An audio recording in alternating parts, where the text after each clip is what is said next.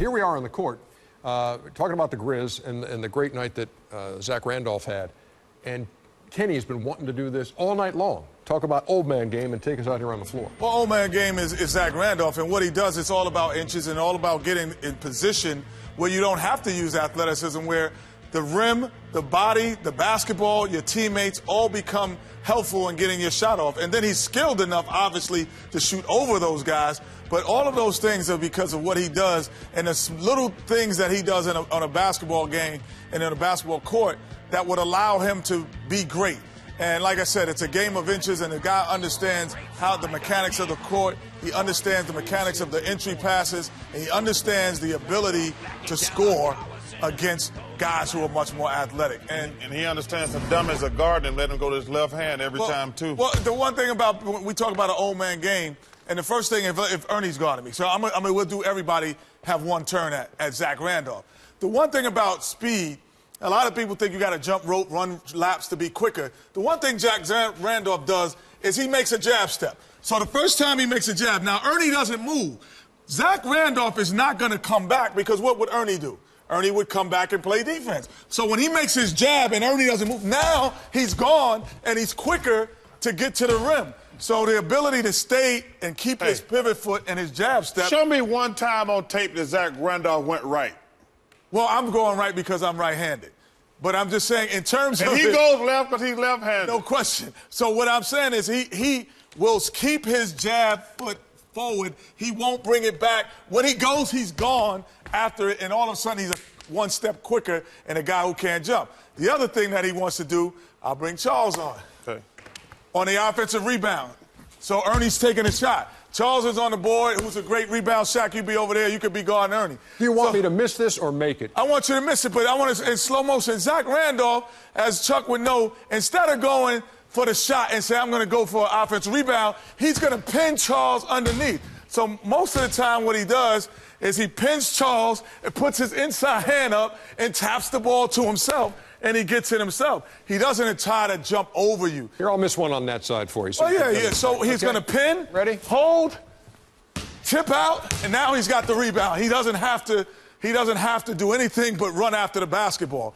And lastly, he's never going to get his shot blocked, ever, ever. Because if Shaquille O'Neal is guarding me, Okay? Thanks for using all of us so effectively. The one thing that Zach Randolph, I'm going to do use my right hand since Shaq is there.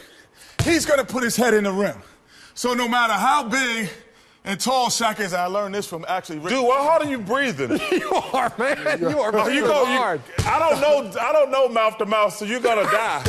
Shaq, you, this one's on you, you Shaq. Very well. That's the problem. You want to yeah. do mouth to mouth.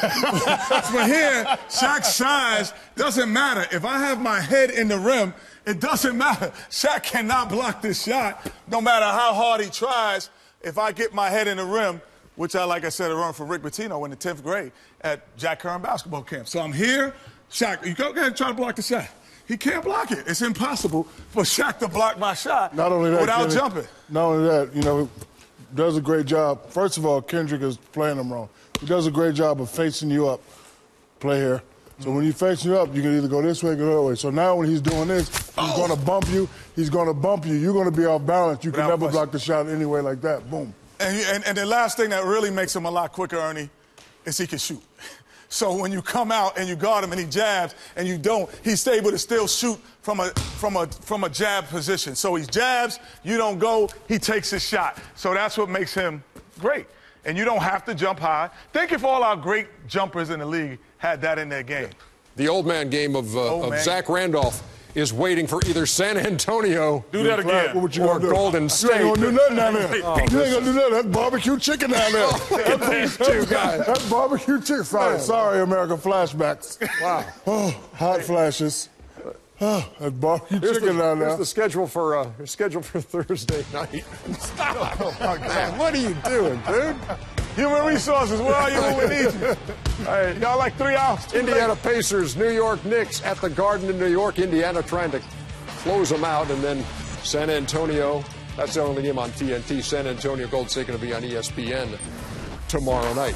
Uh, Coors Light, cold, hard facts. Knicks, since their 3 0 lead in the first round, have gone two and five and scored 88 points a game.